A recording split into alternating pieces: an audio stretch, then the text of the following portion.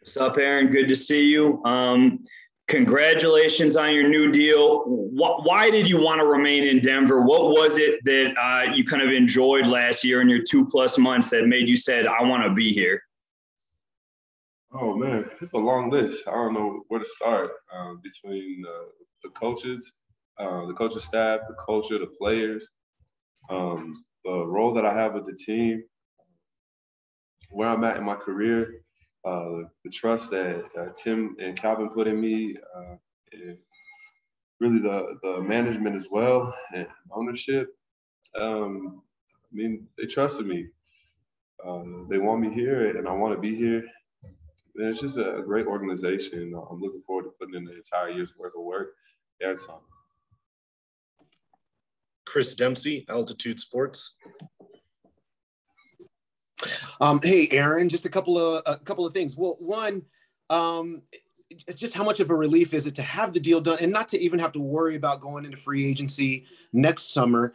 And then part two, okay, so what's next? I mean, you've been through 25 games plus a playoffs with the Nuggets. What did you learn about now? Um, having uh, what's going to work for you to mesh with this team um, in your first full season with it?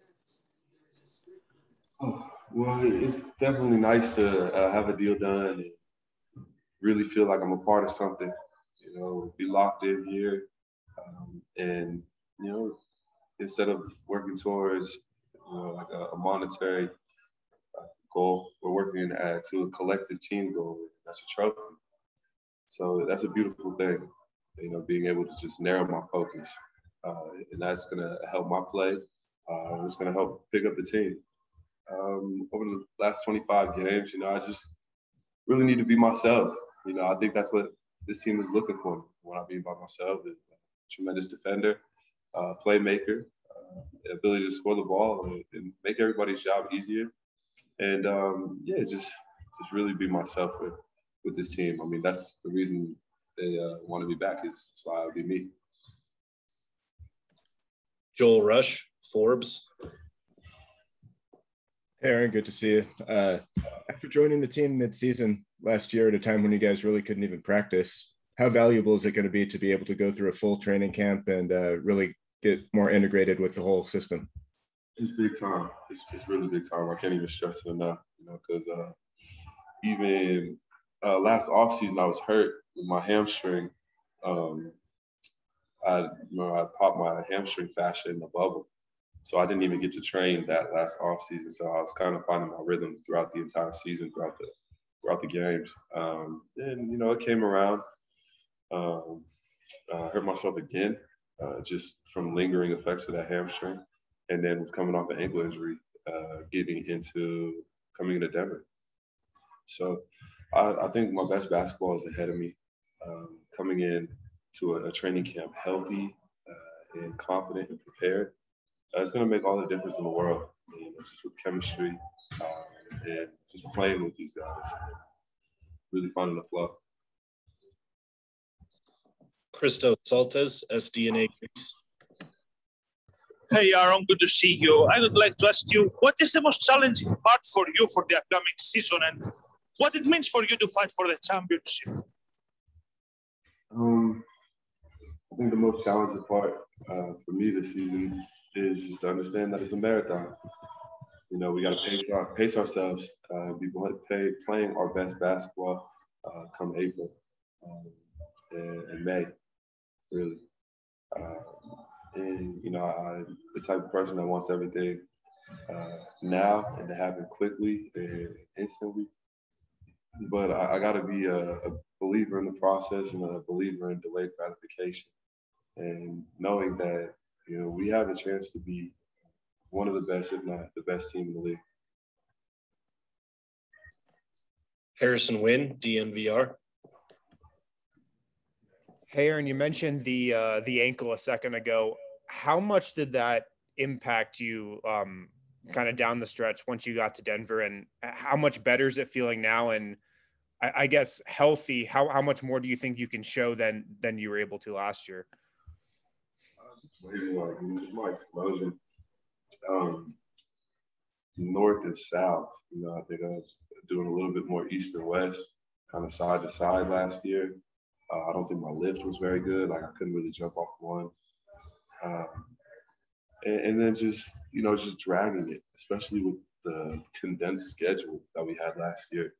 It just made it that much more difficult to recover and uh, bounce back from games. And I really felt like I was playing on one and a half feet um, come down the stretch, uh, and it really just wore out on me towards the end of the end of the season.